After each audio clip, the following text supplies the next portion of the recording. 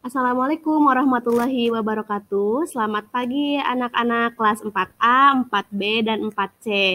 Hari ini matematika bersama Budia.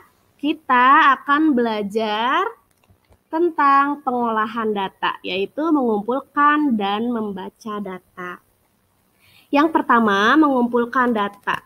Bisa dilihat contoh di sini ya, Nak ya.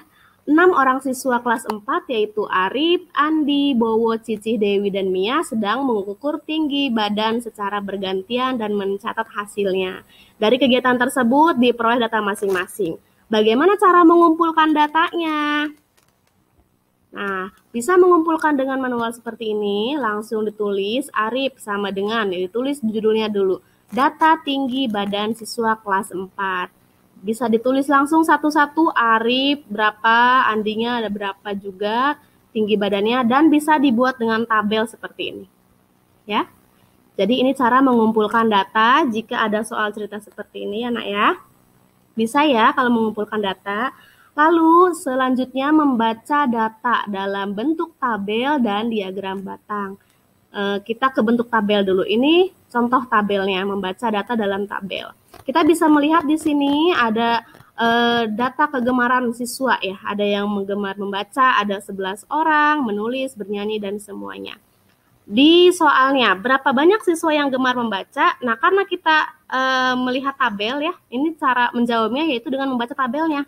Berapa banyak siswa yang gemar membaca? Di sini dilihat yang gemar membaca adalah 11 siswa. Lalu yang kedua, berapa banyak siswa yang gemar menulis? Dilihat lagi tabelnya, yang menulis itu ada 9 siswa. Yang ketiga, berapa banyak yang gemar bernyanyi? Bernyanyi berarti 7 siswa. Bisa ya nak ya membaca data dalam bentuk tabel. Selanjutnya membaca data dalam bentuk diagram batang.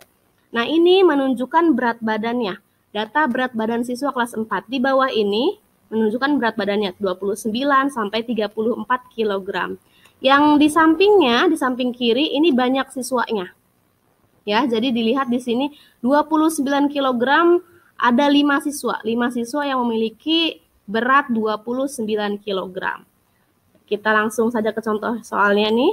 Berapa banyak siswa yang berat badannya 29 kg? Berapa nah ini? Bisa dilihat ya, 5 siswa. Berapa banyak siswa yang berat badannya 31 kg? Nah, yang 31 kg ini ada 8 siswa. Mudah ya nak ya? Mengumpulkan data, membaca data dalam bentuk tabel dan diagram batang. Baik, eh, Bu Guru cukupkan. Terima kasih. Assalamualaikum warahmatullahi wabarakatuh.